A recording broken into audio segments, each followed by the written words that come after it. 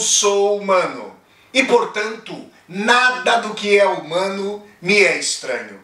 Assim falava o poeta e dramaturgo romano Terêncio, e assim falo eu, Flávio Ricardo Vassoler, escritor, professor, youtuber e nômade, fiel como os pássaros migratórios. E hoje, em mais uma resenha de filme aqui do meu canal do YouTube, Flávio Ricardo Vassoler, eu trago para vocês uma discussão a respeito do ótimo filme, uma verdadeira obra-prima, Coringa, Joker, filme de, mil, de 2019 que contou com a direção do estadunidense Todd Phillips. Sem mais então, comecemos a nossa resenha dizendo é, quem é Coringa. Na verdade, ele é o Arthur.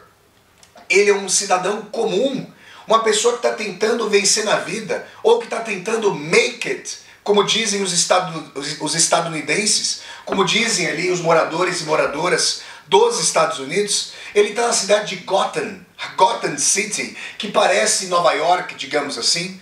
E, e é importante dizer que Coringa estabelece a psicogênese da sociopatologia e a sociogênese da psicopatia. Vou repetir. A psicogênese da sociopatologia e a sociogênese da psicopatia. Por quê? Porque os dramas mesmos do Coringa, daquele, do Arthur, que vai se transformar no Coringa, são os dramas de toda uma sociedade. Há especificidades traumáticas, deformadoras em sua formação? Sem dúvida. Porém, o fato de as pessoas tomarem o Coringa como uma centelha, uma faísca para todo um senso de ressentimento e rebeldia, tudo isso dá, dá, nos mostra, dá a dimensão de que as frustrações do Coringa são socialmente partilhadas, de que o ressentimento de classe, a luta de classes entre os mais pobres, depauperados, desempregados, alijados das políticas de proteção social, e os mais ricos, entre os quais desponta a figura de Thomas Wayne, um milionário que é pai de Bruce Wayne, aquele que viria a se tornar o Batman, como nós sabemos, o arqui-inimigo do Coringa, ah, há ali um ressentimento muito forte entre a população. Então, para começar a nossa discussão, a gente precisa fazer uma caracterização do Arthur, tal como o filme ah, ah, nos apresenta a personagem. Arthur é, personagem interpretada, e eu diria mais, como vocês já sabem aqui no meu canal do YouTube com as resenhas de filme, eternizada pela, pelo ator estadunidense é, Joaquin Phoenix. Uh, Arthur é uma pessoa comum, uma pessoa é, com dificuldades financeiras, uma pessoa que ocupa ali empregos mal parcamente remunerados. A princípio ele já está fantasiado de palhaço, fazendo propagandas para uma loja, para a qual justamente ele trabalha. Acontece que o mal, a injustiça, a barbárie recaem sobre ele desde o princípio. Por quê? Porque ele está ali na rua trabalhando honestamente, dignamente, girando uma placa ali para mostrar as propagandas da loja e passam alguns vândalos, alguns moleques, alguns membros de gangue, roubam a placa o levam, porque ele vai perseguindo os moleques para tentar reaver a placa, o levam para um beco e o espancam, quebram a placa contra ele. E depois, ao invés de compreensão, ao invés de é, é, é, entendimento do horror pelo qual ele havia passado, o chefe diz que vai descontar do ordenado parco dele a placa que ele não quebrara, que fora quebrada contra, fora quebrada contra a sua cabeça. Essa é só a primeira de uma série de esse é só o primeiro de uma série de descalabros que acontecem contra ele. Um horror posto. que mais nós temos? Coringa mora, Joe, o Arthur, vamos, vamos chamá-lo ainda pelo seu nome é, como cidadão comum, nome que ele vai denegar em prol do arquétipo, em prol da resultante vetorial de uma série de frustrações da população mais pobre ou da população depauperada do poder, é, desprovida do poder naquele momento em Gotham City, uma cidade gêmea de Nova York, digamos assim. Uh, Arthur mora com a sua mãe.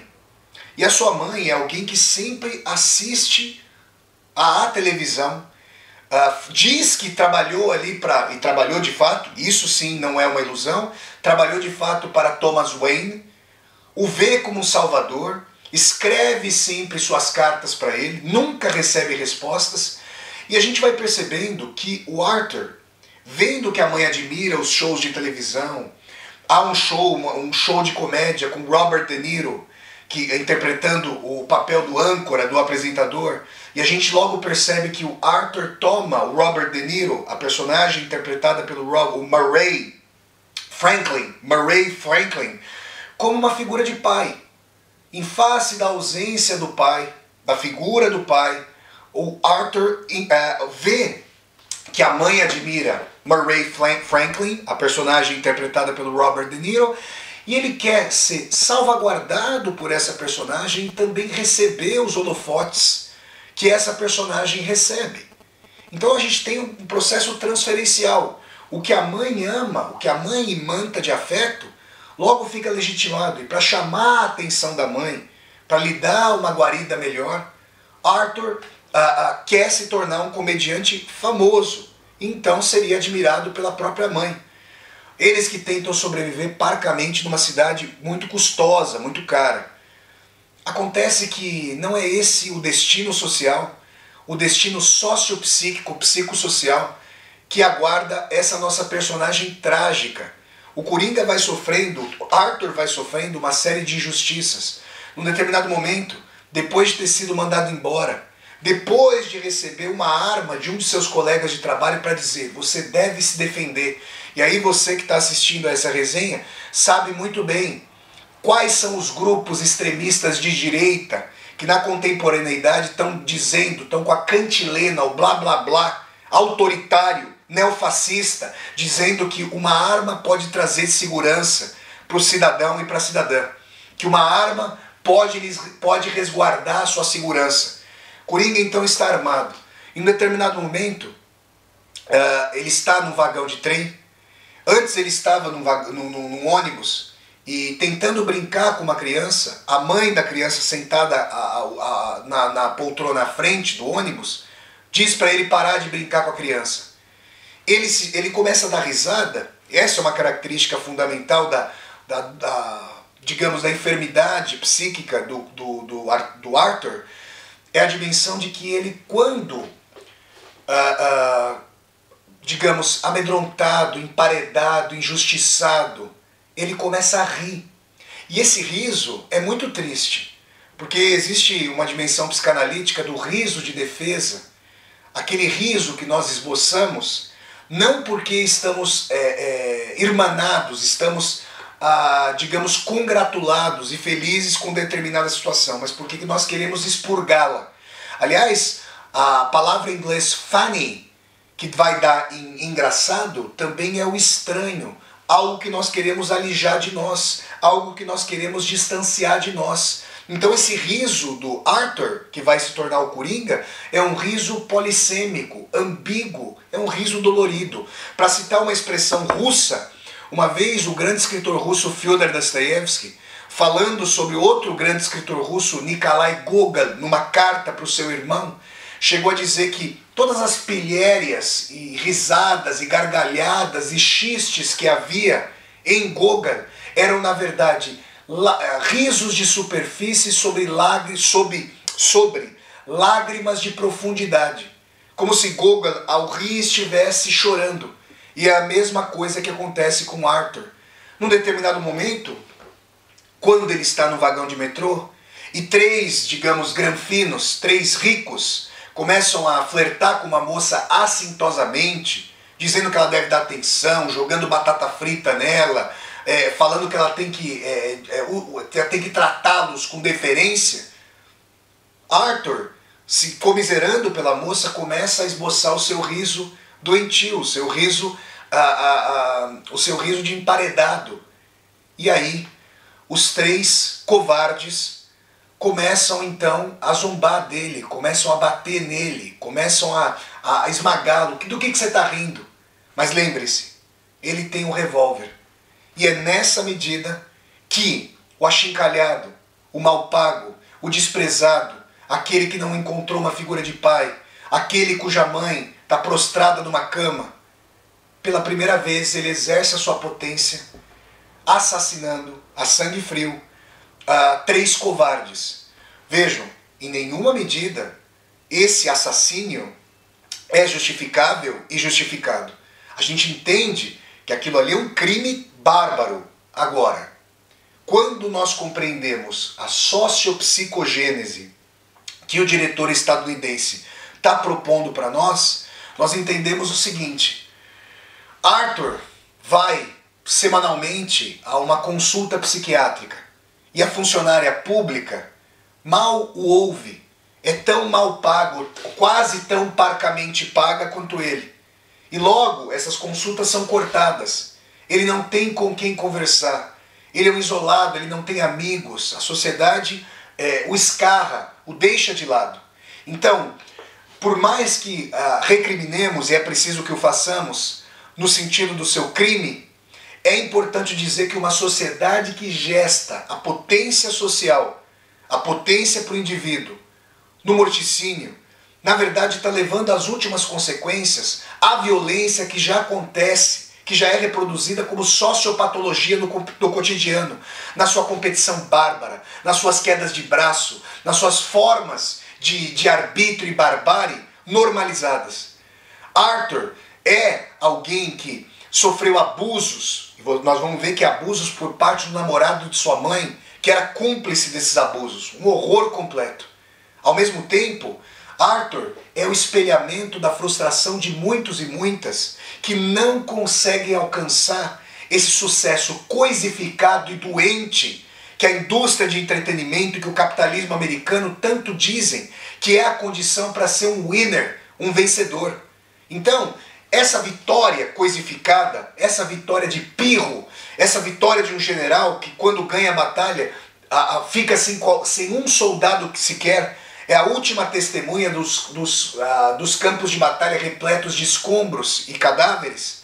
Essa vitória coisificada do capitalismo neoliberal, do capitalismo estadunidense, tem aí o seu custo humano terrível, para usar o substantivo custo no sentido da coisificação, com a barbárie que o, Arthur vai começar a exercer, sentindo sua potência como coringa, se transformando em coringa. Logo, eu volto a dizer, a política de apoio psiquiátrico é cortada.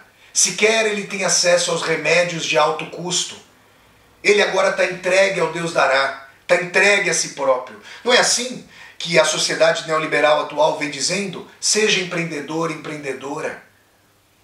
Imagine que você mesmo, mesma, é uma célula de produção, uma célula de invenção. Faça por si só, apenas faça. Pois ele está fazendo.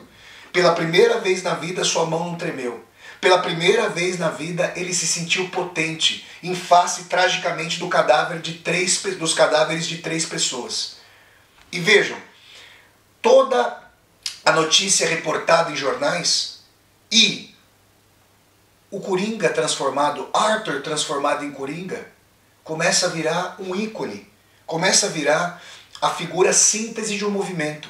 Um movimento da população ressentida, mal paga, alijada do sucesso, anônima, escarrada, em prol de uma força contra os milionários. Um ressentimento, uma luta de classes.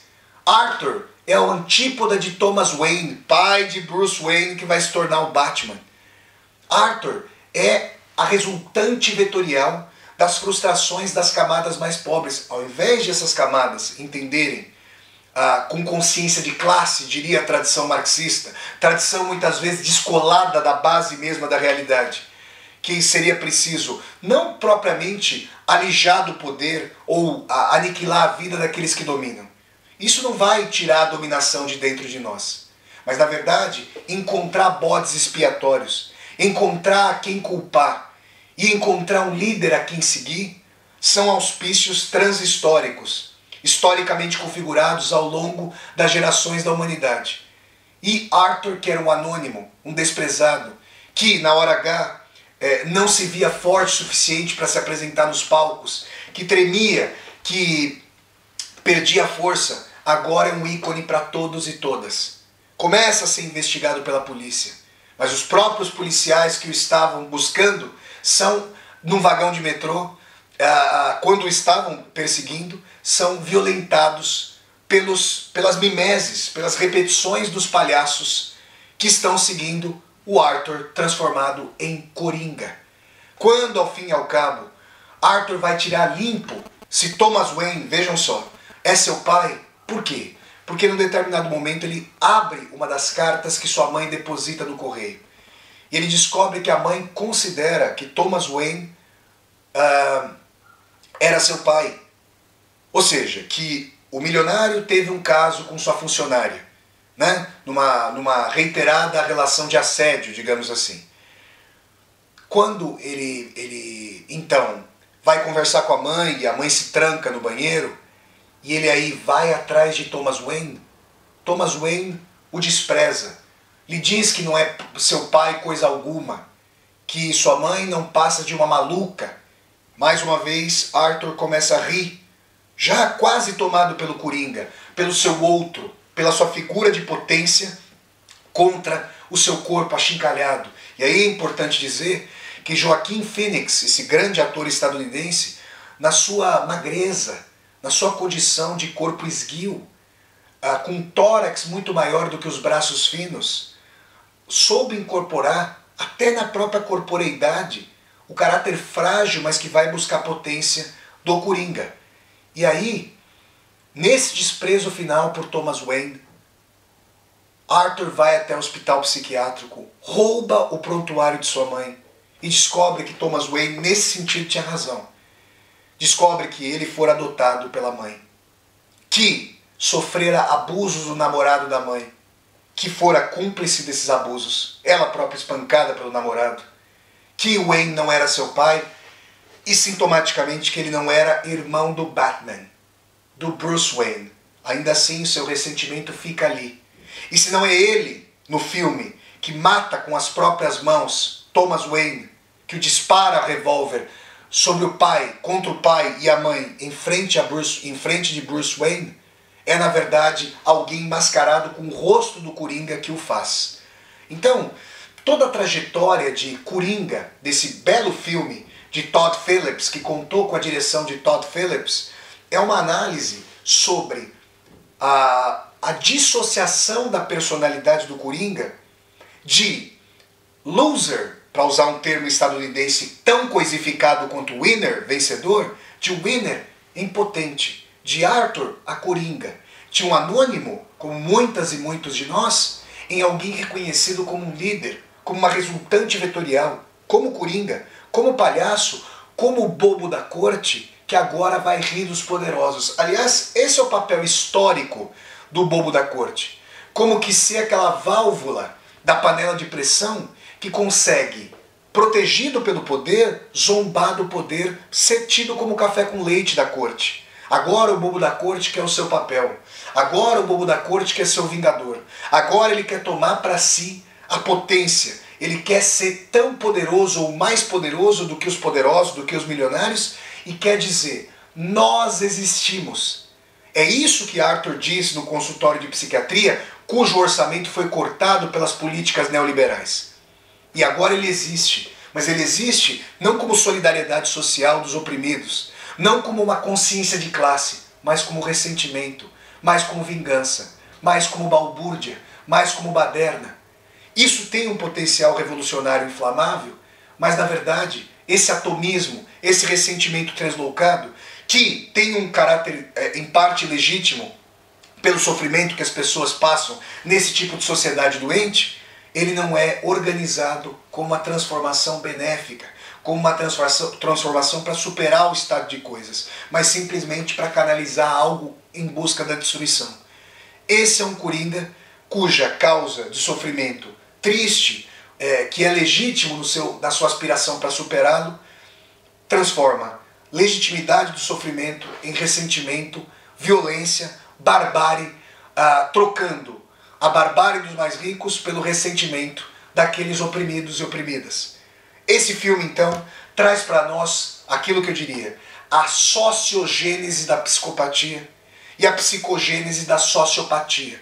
A dimensão de que a cisão da personalidade de Arthur a Coringa vai fazer com que a potência vença contra o cidadão anônimo.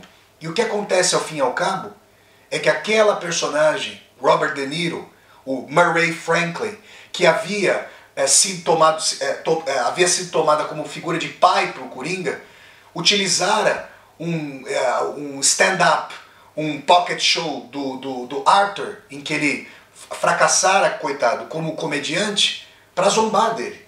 Pois o Coringa consegue ir até o show.